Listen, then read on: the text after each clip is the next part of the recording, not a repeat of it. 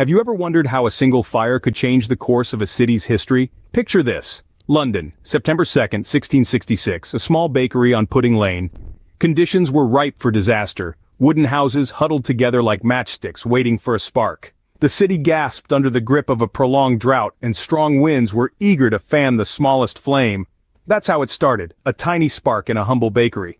The small flame soon turned into an uncontrollable inferno. Hours, the fire transformed from a local incident to a citywide catastrophe. The flames, once confined to a humble bakery, became a raging beast, indiscriminately consuming everything in its path.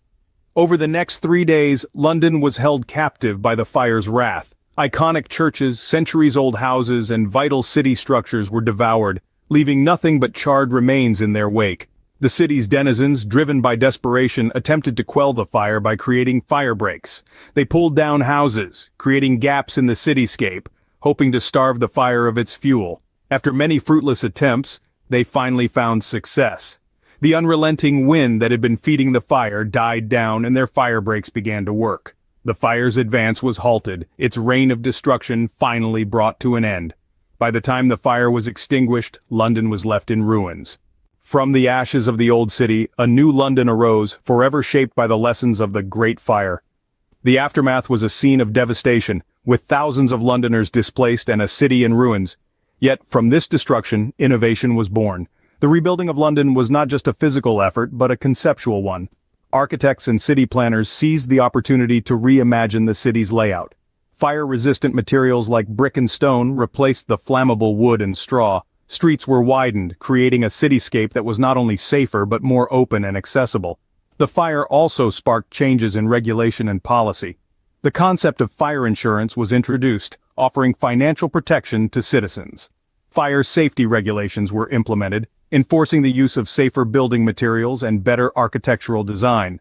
The Great Fire of London, a tragedy that transformed a city, leaving an indelible mark on urban planning and fire safety practices worldwide. As we reflect on the Great Fire of London, we see its imprint not just on the city's architecture but also on its culture, its policies, and its people. The blaze that once consumed London ignited a flame of innovation and resilience that continues to burn brightly to this day. It showed us that from great turmoil can come great transformation. The fire shaped London into a city that was not just rebuilt, but reborn. Stronger, safer, and more vibrant than ever. This legacy is not confined to London alone. The lessons learnt from the fire have reverberated across the globe, influencing urban planning and fire safety practices worldwide. The concept of fire insurance born from the ashes of the London blaze is now a cornerstone of modern risk management. Today, the Great Fire serves as a powerful reminder of our capacity to rise from the ashes, to adapt, and to reimagine our future.